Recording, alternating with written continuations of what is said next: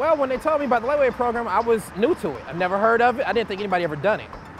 But they said, you know, we're willing to work with you. We're trying to earn you as a customer for the rest of your car buying life. So I bought this car. My girlfriend is gonna pick up her car this coming Friday. She's happy with that. I have a 17 year old. I might come back and buy her a car.